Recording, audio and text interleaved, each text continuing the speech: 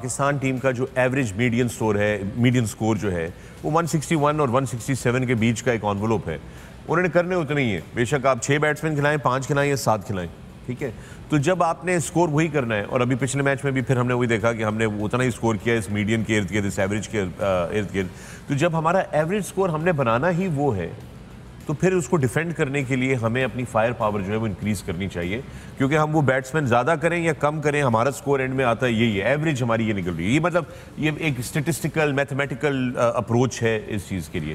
So you think if that is the case scenario then we should be beefing up our bowling ये बिल्कुल ठीक बात है। आप थोड़ा सा बैठ के अपने ही मैचेस को एनालाइज कर लें जो आपने खेले। आपने 200 या 200 प्लस भी चेज़ किया या 180 भी चेज़ किया है। किसने जिताया? आपको आके सातवें, आठवें वाले ने नहीं जिताया, आपके ओपनर्स ने जिताया, ऊपर से आपने मैच जीता। जब आपने पहले भी रन किए हैं तो इन्होंने ही किए हैं।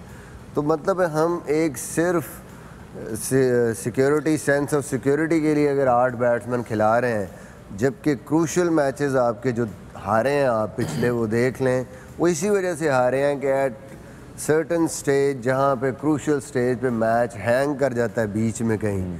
कि अब यहाँ आप फंसे हुए हैं या वो इधर जाएगा या इधर जाएगा तो you are short of bowling option आपके पास फास्ट बॉलिंग का पीछे कोई बैकअप नहीं, नहीं है। स्पिनर को जो भी टीम अच्छा खेलेगी आपके पास उसका बैकअप भी स्पिनर है।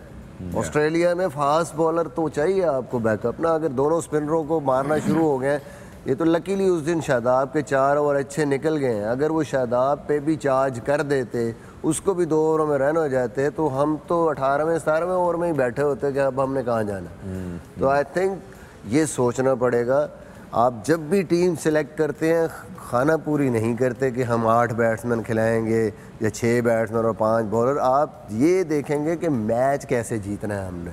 कौन सा ऐसा हम बंदा लेके आएँगे जिससे हमें जो हमें मैच जिता, सकता है। तो आई थिंक राइट कॉल यही है कि यहाँ पे फास्ट बॉलर की ज़रूरत पड़ेगी फास्ट बॉलर लेके आना चाहिए। वो इसलिए ये हो रहा है क्योंकि जब आप मोस्टली क्रिकेट रिसेंट पास्ट में खेले हैं तो आपका नवाज़ नया बॉल कर रहा था। तो हम्म। आपके पास ऑप्शन होता था मिडल ओवर्स में कि आप पेसर्स को करा हम्म। सकते हैं लेकिन वहाँ पे कंडीशंस ऐसी हैं कि पेसर्स बॉलिंग कर रहे हैं हम्म। ठीक है अगर आपने आठ बैट्समैन जिस पे हम डिस्कस कर रहे हैं वो डाले हुए हैं तो आप फिर सेम फॉर्मेशन से जाएँ अब नवाज़ से जो है उससे कराएँ नया गेंद हम्म। ताकि अगर आपको रन्स बनते भी हैं तो आपके पास इनफ बैटर्स हैं जो उसको चेज कर सकें Good तो point. एक एक ये चीज़ हो सकती है दूसरा ये है कि of course what these two are saying it's making sense लेकिन वो उनको सक्सेस मिली है उस कॉम्बिनेशन से वो उससे बाहर नहीं निकलना चाह रहे ठीक है? बिल्कुल तो ये एक वजह हो सकती है लेकिन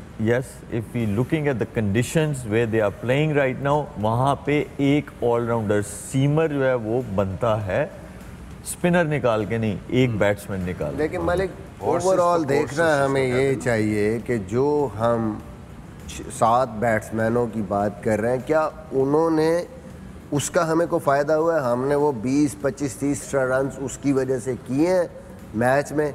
या जहाँ हमें 200 चेज़ करना पड़ा है तो वो जो हम एक एक्स्ट्रा बैट्समैन खिला रहे हैं उसका कोई इम्पैक्ट आया है उस मैच में या नहीं? नहीं आया अभी तक। बॉलर का ज़रूर इम्पैक्ट आएगा 20 से 25 रन का वो करना वेरी गुड पॉइंट और इस मौके पर हम